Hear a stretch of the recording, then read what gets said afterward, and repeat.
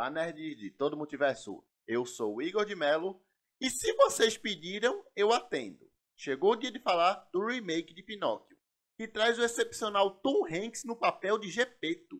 Porém, nessa história houve várias mudanças em relação à trama original, que matou o filme, digamos assim. Então, nesse vídeo eu vou falar o porquê de algumas mudanças, contar algumas curiosidades e ensinamentos sobre a verdadeira história dos livros do Pinóquio, que é bem bizarra mas que poderia ter sido em partes utilizada nessa nova versão. Então hoje vamos falar muito bem do remake.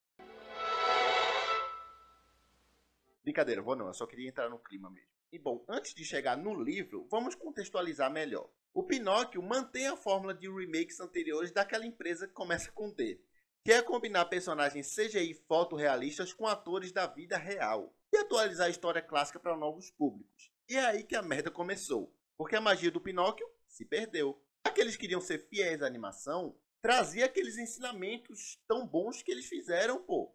Antes de falar desse remake de 2022, eu quero contar a verdadeira história do Pinóquio, a do livro original. E aí depois eu explico como o remake podia ter utilizado isso para criar algo realmente bom. Então vamos lá. A história original, livro criado por Carlos Collodi, lançado em 1881, tem a seguinte história. O Gepeto ganha um presente esquisito, que é um pedaço de madeira falante. Eu não sei nem porque ele aceitou, né? Mas tudo bem. E aí ele decide dar vida a essa peça inanimada e esculpe o boneco. Porém, enquanto ele está construindo o personagem, ele já vai se decepcionando. Porque o, Pinóquio já começa a se comportar muito mal. Tem até um momento que ele chega a chutar o nariz de Gepeto logo após ganhar pernas.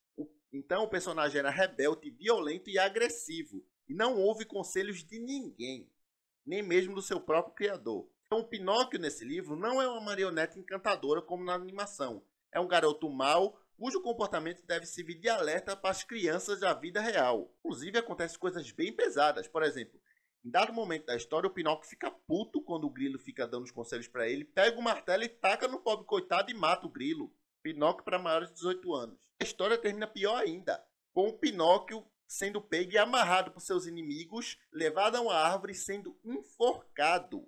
E aí isso deu treta, porque lá nos anos 1800 não tinha internet para ninguém ficar reclamando, mas o povo podia ficar mandando carta e ficar no ouvido do autor. Então, foi tanta reclamação e crítica que ele decidiu voltar atrás e mudar algumas coisas e criou um novo personagem para acompanhar e instruir o Pinóquio, que era a Fada Azul dando uma nova conclusão à trama. Então a fada encontrava o Pinóquio morto, trazia ele de volta à vida, porém o Pinóquio não ia aprender a lição e voltar a mentir como um menino de verdade. Ou seja, ele modificou parte da trama, mas manteve essa base do Pinóquio ser ruim, que ele tinha que passar por certas coisas para evoluir e melhorar essa questão. Ou seja, a moral dessa história é um pouco diferente do desenho animado de 1940. A moral aqui é que a mentira gera consequências maléficas e devemos respeitar os pais. E assim, a história é até filosófica, porque se trata de viver a vida, ver o mundo, errar, se arrepender e amadurecer. E aí, como disse o filósofo e historiador Benedict Cross, a madeira do qual Pinóquio foi esculpido é a própria humanidade. E isso é uma baita reflexão não só do livro, mas de tudo que envolve o Pinóquio. Porque a ideia do autor era a seguinte: mostrar que o Pinóquio podia não ser um menino de verdade, mas ele possuía características humanas negativas, ele não respeitava o pai, não ouvia conselhos, se metia em confusão, mentia, fugia. E no final da história, ele percebe os seus erros, se arrepende e termina como uma pessoa melhor. Tudo isso foi costurado com o próprio nome Pinóquio. Acho que muitas pessoas nem pararam para se questionar isso. Mas o nome significa o seguinte: pinhão. E no italiano, quando falado na língua toscana, consiste em um pedaço de madeira que não está totalmente esculpido. Então, isso tem vários significados da história. Quando o Pinóquio foi criado, ele ganhou esse nome porque ele ainda não estava pronto fisicamente, só que depois ele continuou não estando pronto para a vida. Para você ver que tem nuances muito interessantes em relação a esse personagem. Então, baseado no livro, o erro principal do remake é como essa história manter sentido o tempo todo nas coisas. Como se tudo tivesse que ter uma explicação pautada no mundo real. E não dá para você querer sentido em um mundo onde o boneco de madeira ganha vida e um grilo fala. Porque a gente nota que o tempo todo eles estão preocupados em manter a racionalidade. Enquanto está fazendo isso, tem um desgraçado de um lobo que fala e anda e usa roupa. Então, na história, eles se preocupam mais em fazer o grilo ter os barulhos característicos do de verdade, para lembrar que isso é real, entre aspas, do que fazer o personagem ter a consciência do Pinóquio nos momentos necessários. E assim, se o problema da adaptação fosse só essa questão de tentar ser realista, eu ainda estava aqui aplaudindo. A bronca mesmo tá na mensagem que o filme deveria passar e não passa.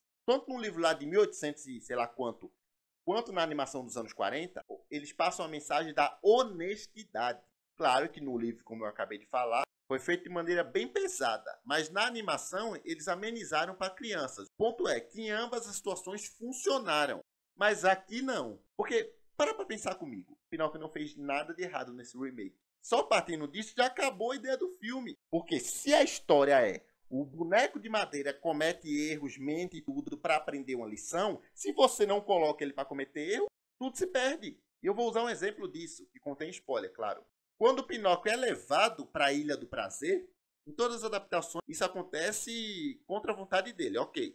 Só que como ele age lá, é muito diferente. No original, o Pinóquio participa de toda a devassidão do lugar. Ele destrói prédios, é loucão. E segundo a história, os meninos que se alimentam de atividades ilegais nessa ilha se transformam em burros no final da noite. E aí o Pinóquio cria orelhas e um rabo como punição por suas ações antes de escapar da ilha.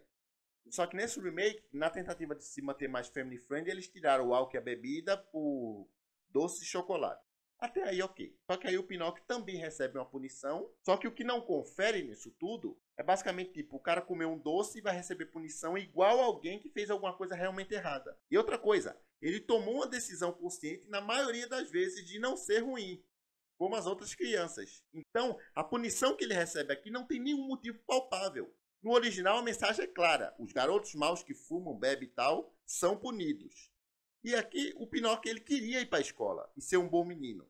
Só que ele foi expulso por ser um boneco de madeira, que não é culpa dele, sai recebendo um monte de punição que não condiz com a história.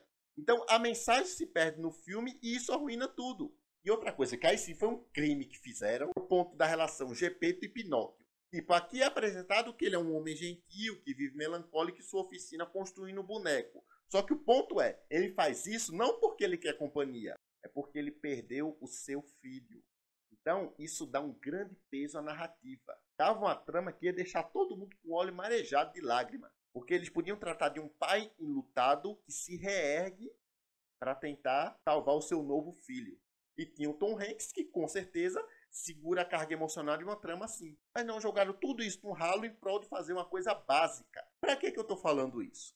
Para explicar que o remake podia ter usado algumas coisas do livro, claro que não ao pé da letra, tipo o Pinóquio sendo rebelde, fazendo coisas erradas e sendo punido para aprender com os erros e no fim se tornar uma pessoa melhor. E ele já tinha uma base trágica ótima, que era essa do Gepeto. Então eles não fizeram por falta de vontade mesmo. Porque eles tinham sim boas ideias que davam para ser trabalhadas. Tipo no final, onde eles deixam ambíguo a questão se o Pinóquio vira um menino de verdade ou não. E a mensagem que é passada ali, se você não percebeu, que não importa se ele é de madeira ou o que quer que seja.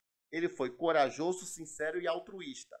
E isso o tornou um menino real quanto outros. Porém, isso perde o significado quando você vai ver que o personagem não teve uma experiência palpável durante o filme que justifique essa questão. Então fica uma coisa vazia que faz com que ninguém se importe. Aí você pode me dizer, ah, Igor, mas isso é um remake, não é uma adaptação fiel. Pode tomar um rumo diferente. Concordo. Eu até sugeri isso agora há pouco. Porém, o problema é que o ensinamento do Pinóquio foi diluído em coisas sem sentido, tornando o filme sem alma. E eu fico chateado de verdade que o Pinóquio que essa geração vai ter vai ser esse. Porque os desenhos e livros infantis antigos, eles ajudam a passar mensagens interessantes para os pequenos.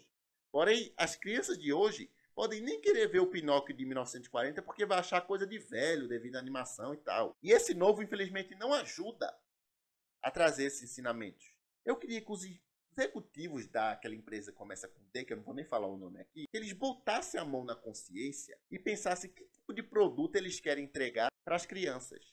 Porque até agora eles estão falando muito em fazer isso. Então, se for para continuar tentando atualizar histórias antigas para a nova geração e ficar desse jeito, é melhor parar por aqui. Sim, não é a última vez que eu estou falando de Pinóquio aqui não, porque tem outras coisas interessantes que eu vou trazer a respeito do personagem. Como, por exemplo, versões alternativas da história até mais pesadas que a original, como por exemplo um Pinóquio que mata a mulher do GP enquanto está fazendo sexo com ela. É isso mesmo que você ouviu. E é essa história que você vai descobrir em breve aqui no canal. E eu vou ficando por aqui, até o próximo vídeo. Valeu!